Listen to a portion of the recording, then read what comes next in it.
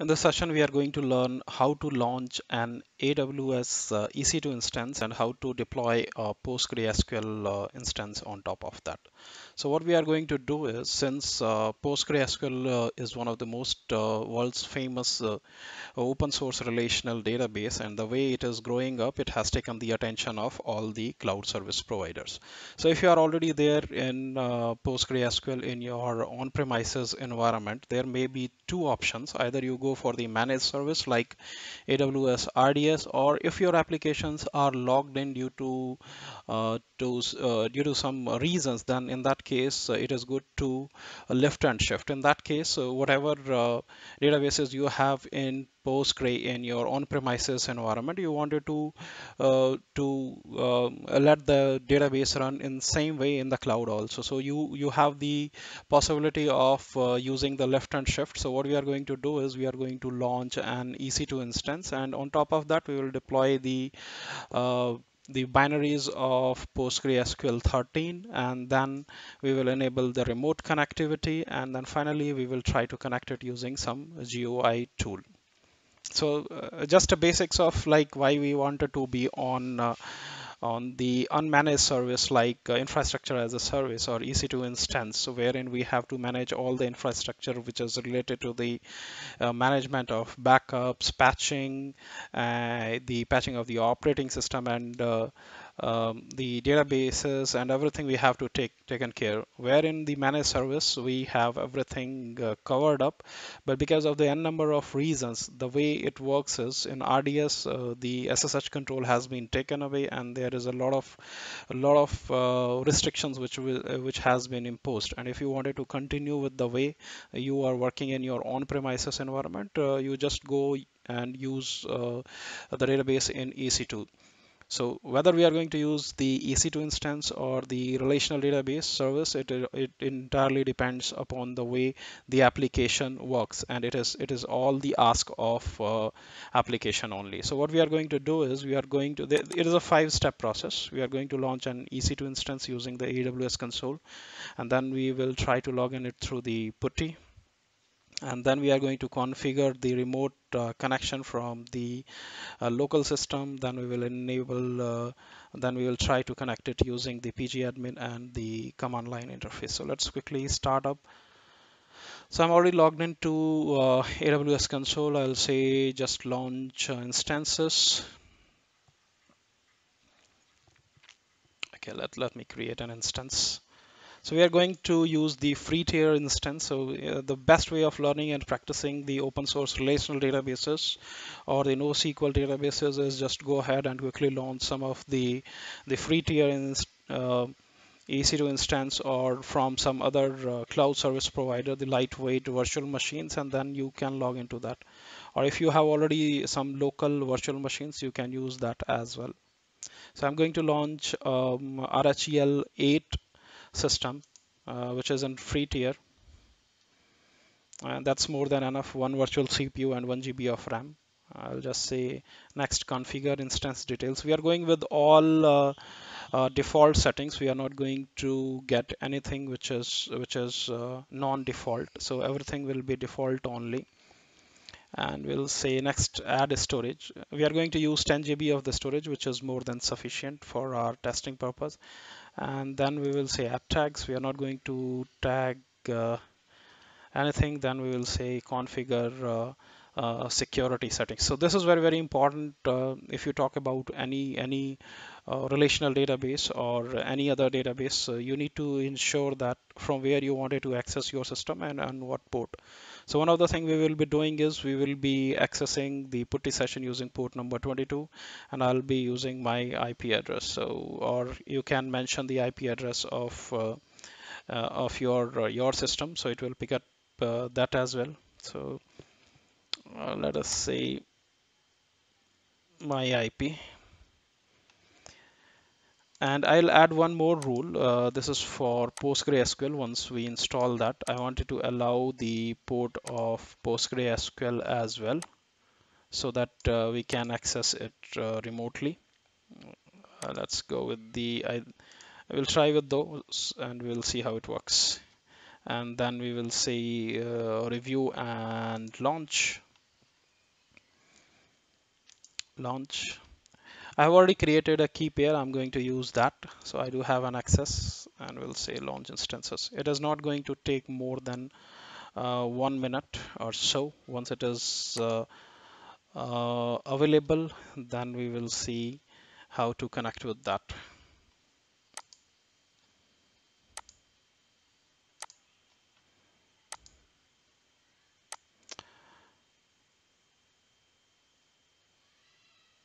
still it is in pending state. It is still initializing so once it is done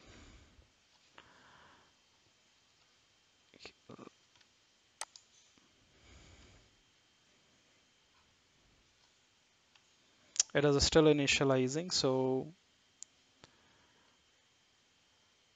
okay, we have all the details over here. We will go to the networking or uh, simply we can say uh, action or connect. Still it is uh, getting initialized.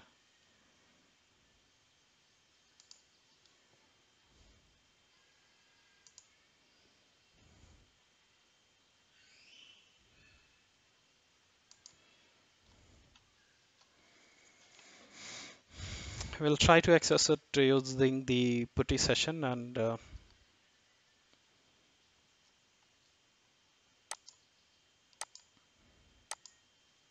okay this is the public DNS which we have to use.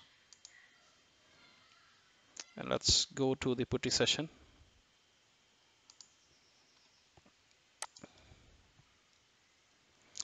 There's the public DNS and uh, we have to go to authority and we have to give the location of the uh, the key.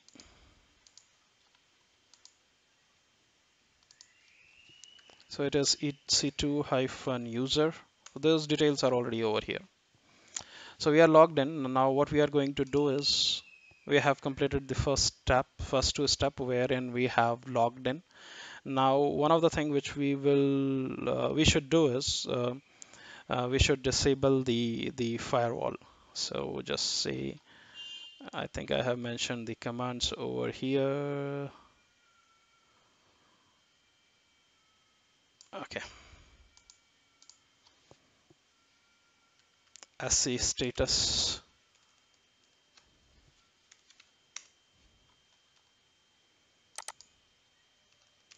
So as of now it is enabled only.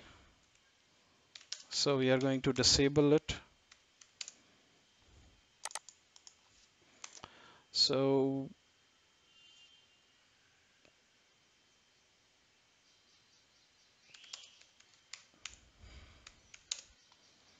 vi config and instead of enforcing we will say disabled.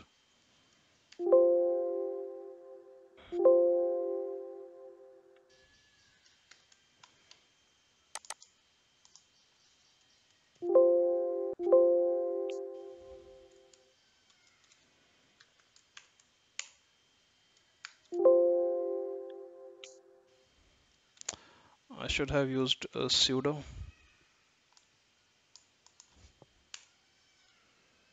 just mention disabled.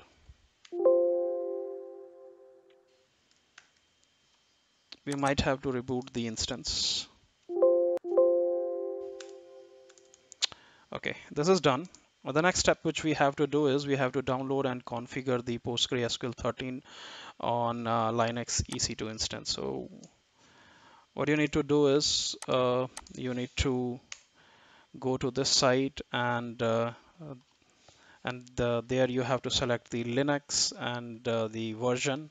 If you simply select that it will show you what all steps you have to do. So these are the steps which you have to follow. I have already copied it on the notepad so we are going to just run it out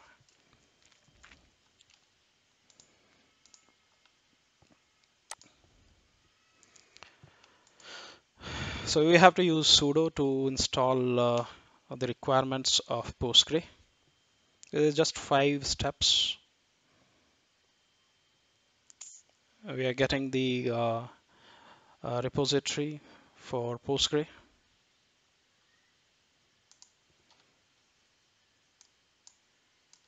And uh, there are some default modules uh, which are available so we have to disable those just disable them and uh, then you have to install the Postgre 13 server it's very very fast within 5 to 10 minutes your uh, EC2 instance having PostgreSQL will be be up and running. You will be able to access this from your local system either through the command line or through the GUI tool, whatever you feel is better, it will be be ready.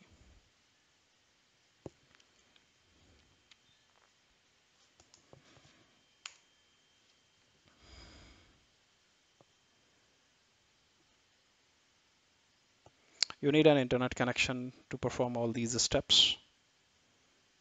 This is done. Go to the next step, initialize the database. This is initialization of uh, Postgre 13 server. Then we have to enable it so that after reboot, it should come up. And uh, finally, we have to start the PostgreSQL server.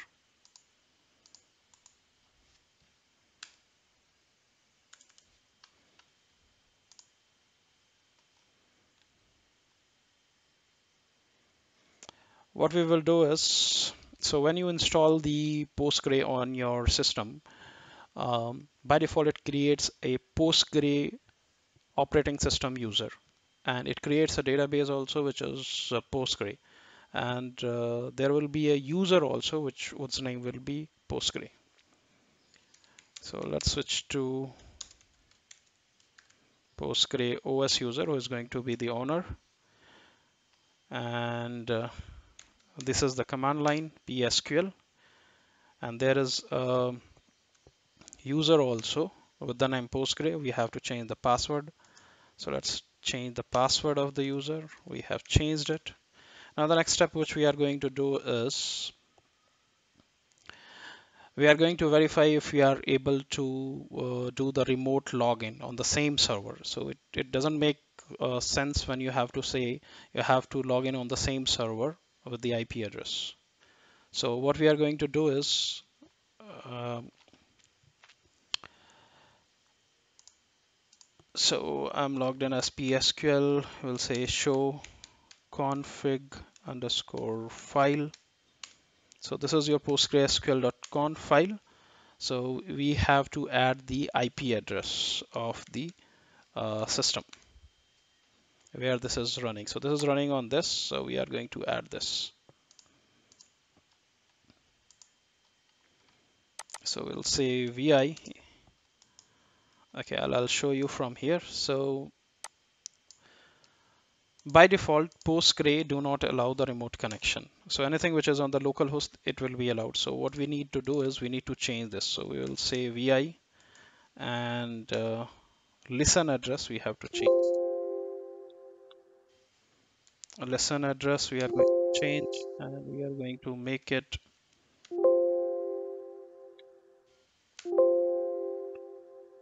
we are going to make it the IP address of the system.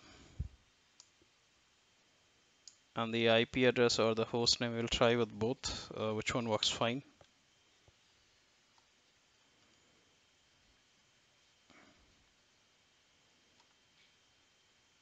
Where is the IP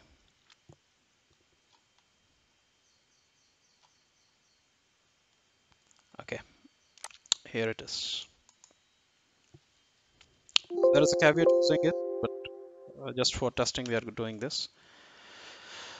We have added it and the next thing which we have to do is we have to add the IP address from where you are going to access this. So there is a file which is called as hba underscore pg underscore hba.conf which is postgre host based authentication. We are going to add that as well. And at the bottom of that we are going to say who all are going to access the system. So these are the virtual IPs of the system from where I'm going to use it.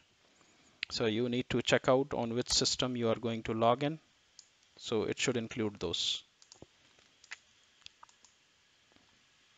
Okay. So I have added IP addresses. In, in your case, you have to add the IP address of uh, your uh, local system. This is done. So once this is done, you need to restart the Postgre server. I'll exit from uh, operating system user and then I'll say sudo systemctl restart. I haven't given the permission so that uh, can restart it. So it is done. Now let's check the status. We'll check the status. I need to reboot the server because uh, SELinux uh, might create some problem. And we will try to log in through the host name from the local system. And I need the host name. So the host name is, uh, where's the public host name? This is the public host name. We'll mention it over here.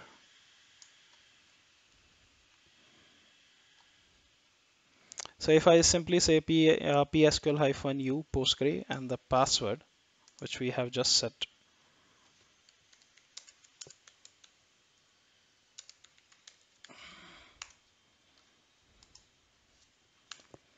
you will be able to uh, log in. But what if uh, we have to mention the IP address or the host name of the system?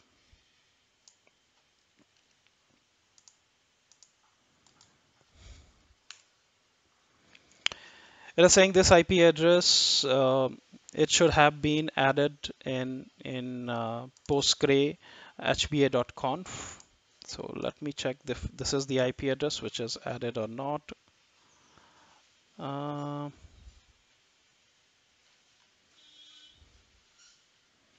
okay, I think we need to reboot the system as well and then uh, it may work. Okay. or we will try rebooting the system from here and we will say reboot instance 194 okay let us reboot the instance.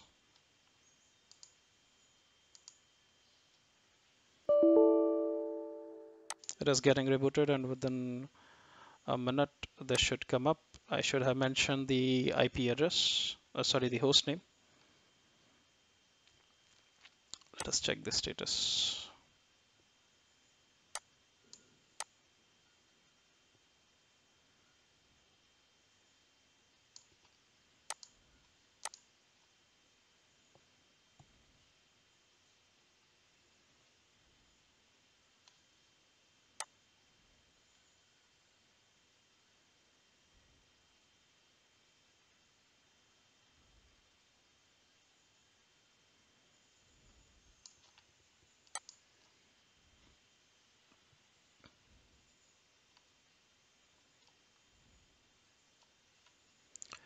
this is the public host name.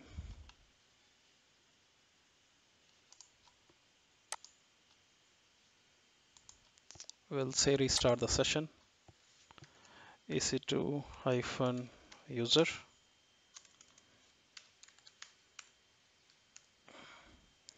We'll say sudo su space hyphen postgre.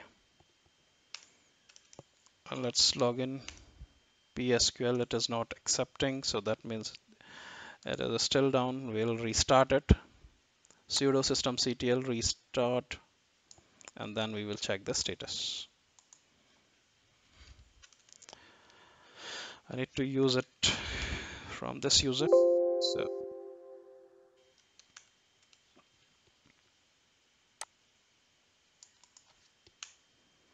okay this is done. Let's check the status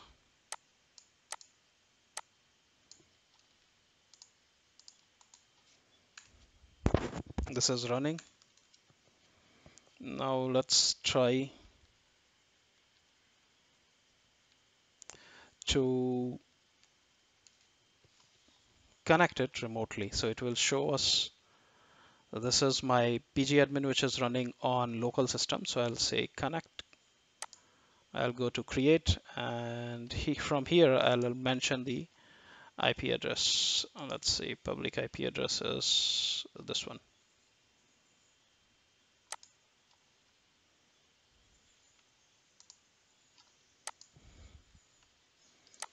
The only problem will be if the ports are not opened and it in inbound rules uh, that should be opened or hba.conf that uh, should have that entry. Okay, this is saying uh, 122.80. Uh, this is not there in the uh, hba.conf, so we are going to add that entry over here. So it should be in this format.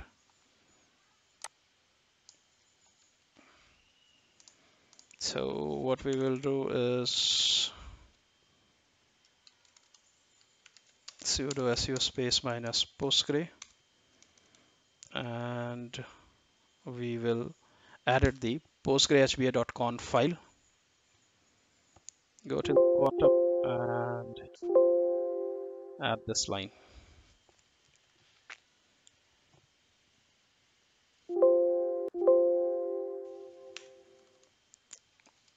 let's restart the Postgre services. Check the status. Okay this is working fine. And now try to connect remotely. Okay we already have the connection. Just say okay.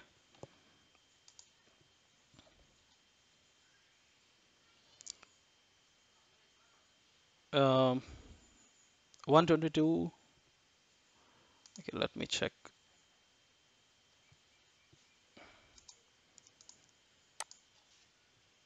if config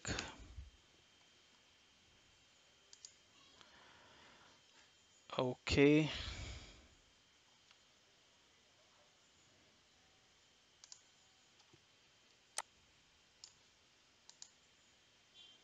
One twenty two eighty two hundred dot twenty three. So let me check. Oh, I I missed one over here.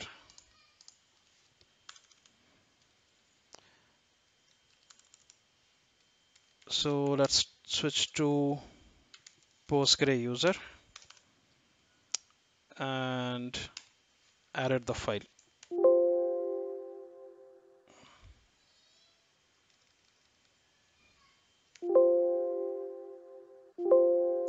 This should work now. The IP address which I mentioned for host base uh, access authentication, it was wrong. Restart the service, check the status, and retry the connection. It shouldn't work now.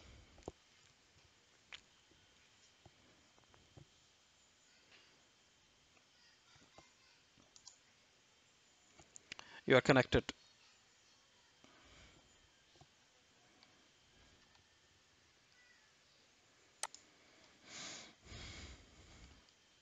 So you are connected uh, remotely.